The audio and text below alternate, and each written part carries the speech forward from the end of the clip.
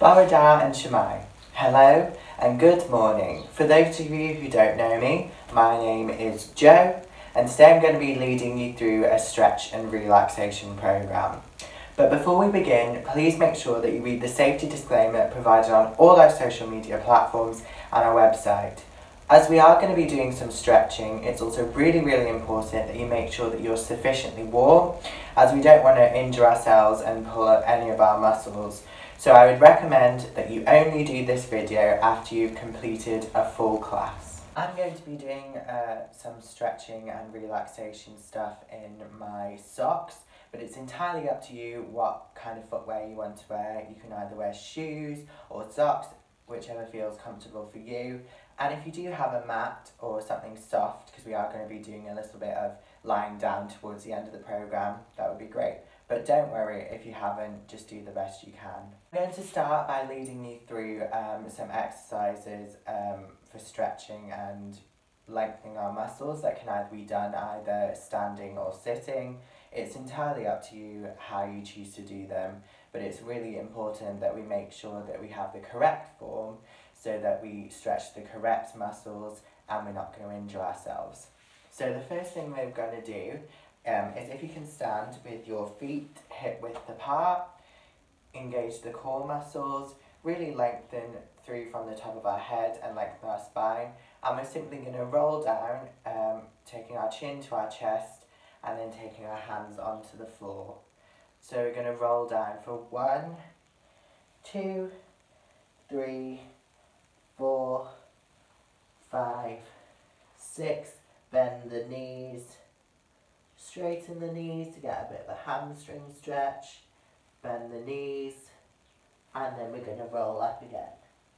Two, three, four, five, six. We're going to do it again. One, two, three, four, five, six. This time we're going to hold the hamstring stretch for a little bit longer. So if you can hold it for one, two, three, four, five, six, seven, eight, nine, ten. Nod the head, shake the head, and then we're going to roll up. One, two, three, four, five, six. Those of us doing um, a seated adaptation of um, this exercise, I'm just going to quickly take you through it.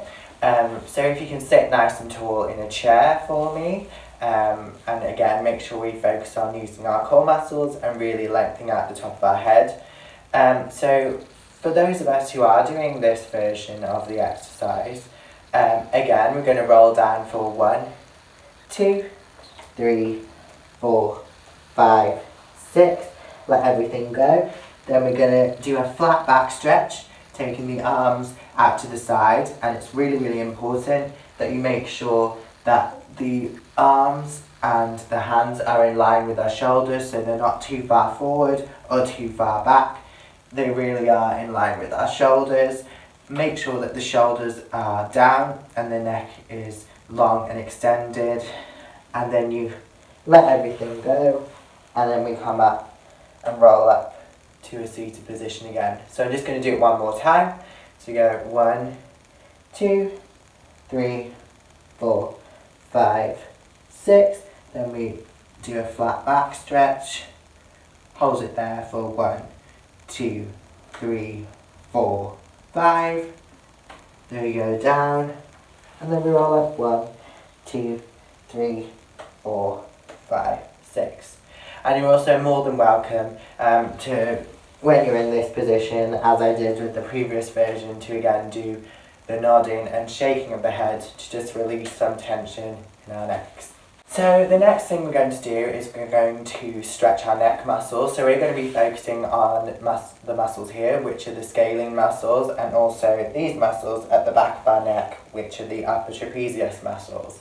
So the first thing I'm going to show you is if you take one of your um, arms and put the hand of the arm you've just taken up to the opposite side of your head, then from there, if you breathe in, we're going to breathe in from one, two, three, four, And as we breathe out, we're going to incline the head slightly and stretch the neck. Then we're going to come back to the center and we do it again. So you breathe in. And then as we breathe out, we incline the head to stretch the neck. And then come back to the center. Then I'm quickly going to show you it to the other side as well. So we make sure that the head is centralized. Then we breathe in. And then as we breathe out, we incline the head to stretch this part of our neck.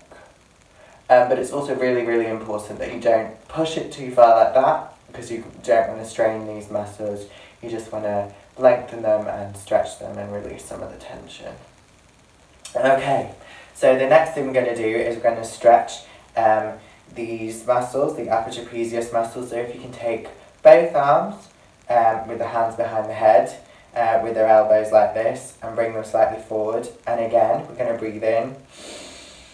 And then as we breathe out, we push the head slightly forward. Again, don't push it too much because we don't want to injure these muscles. We just want to get enough of a stretch. So with stretching, um, you do want to push it, but you want to push it to a place that it feels um, slightly uncomfortable rather than um, pain. So you just want to make sure that you monitor it yourself um, because you know your body and you don't really want to push it and get injured. So then we come back up again. So I'm going to do it again. We breathe in and then we stretch these muscles again and then we come up. Um, so again, the next thing I'm going to do is we're going to stretch uh, the muscles on the inside of our arms. Um, so if you can take one of your arms up and flex them and take the other hand, I'm going to push the palm away as much as you can and make sure that you keep the elbow really nice and straight and that you're also maintaining the posture. So we're going to hold that for one, two, three, four. Let go. Shake it out. Do it again. One, two, three, four. Let go. Shake it out before we do the other side. So here we go. One, two, three, four. Shake it out to let go. And then one, two, three, four. And shake it out and let go. Okay, so the next thing I'm going to do is I'm going to take you um, through some exercises on the floor. Um, I also will do an adaptation. So we're going to sit on the floor, um, if you can cross our legs. Um, you don't want to have one foot on top of the knee, you just want to make sure that they're crossed evenly. Um, and we're going to take the arms up. And as we breathe out, we're going to lean forward, we lean forward, and really, as much as you can, if you can, put your palms on the floor and really lengthen the back and head and really stretch out that back. Um, we're targeting uh, the glute muscles with this stretch. Um, so if you're doing it correctly, you should feel a slight pull um, in these muscles. And again, you don't want to force it um, and injure yourself. Okay, then we're going to come up again. Take the arms up. And we go forwards. Hold it there for one, two, three, four, five, six. So in this position, you want to try as much as you can to aim to get your chest on um, the lower part of your legs. Okay, so from there, we're going to take one of our hands and we're going to bend over to one side. I'm going to hold it there. And you really want to think about lengthening away um, with the shoulder coming away from the ear, so you don't want to bring it up like this because that's doing the wrong type of stretch with the muscles um, and we're not maintaining good form. So you really, really want to hold it there. And also think about, as much as you can, I'm imagining reaching with my arm to the opposite wall but not letting my shoulder come up to my ear. So then we come up again. I'm going to do the other side. Hold it there. One, two, three, four, five, and then we come up. Um, but those two exercises can be done um, in a chair, um, specifically if you're doing uh, the one to stretch uh, our sides. Um, you can lean over to the side. You may have to slightly um, restrict how far you lean over just so you can maintain the balance, but you can still get the correct type of stretch. Um, and then if you want to challenge um, and target more this area of your body, you can think about turning and really making sure as much as you can to try and keep um, your opposite hip back in the chair to get a little bit of a stretch. And then do it this side as well and keep that back in the chair, this hip, um, so you can stretch it a bit. Okay, so I'm going to do um, our next stretching exercise. Um, so if you can, um, lie on the floor um, and you really want to release all the tension from your body, shake your arms out a little bit. Um, and we're going to take one of our legs, I'm going to lift it up, then we're going to bend it in with our thighs to and knees to our chest. Then from there, we're going to take the opposite um, hand to our ankle and stretch the hamstrings. Hold it there for one, two, three, four, five. If you want to challenge yourself, you can do it with a flex foot. I'm doing it with a pointed foot, but it is entirely up to you. And then you want to bring it back. And we stretch. Two, three, four. And then bring it back to bent. And then if you also want to take it to the side, you can push your knee down to the floor. But again, with all stretching, make sure that you're not forcing it. You want to be within the range of, yes, it's uncomfortable, but it's bearable. And then from there, you can stretch the leg to the side, hold it there. Make sure that you keep uh, the other leg on the floor at all times. And then bring it back. and then stretch and then bring it back again. For those of us who are going to be doing um, these exercises seated, um, what we're going to do is we're going to take both our arms out to um, and like an inverted second and then from there twist the body and we hold it and really maintain the length between each of these middle fingers and hold the arms there as much as you can and then come back to the center. And then we're going to do it to the other side. Hold it there. Hold hold hold. And then come back to the center. Um, but you can do that exercise as many times as you like um, to really get the stretch and rotation in our spines you can lie on your back if um, you are doing it seated, that's absolutely fine. Um, you can just um, make sure that you maintain a nice neutral position in your chair, um, that you do um, maintain your core muscles. Um, but if you can let everything else relax, then that's absolutely fine. Um, so yeah, if you can just let everything go. And we're just going to finish with some deep breathing and I'm going to put on some wave music to get us in the mood of thinking that we're um, lying on either uh, a lilo or something like that um, in the sea somewhere.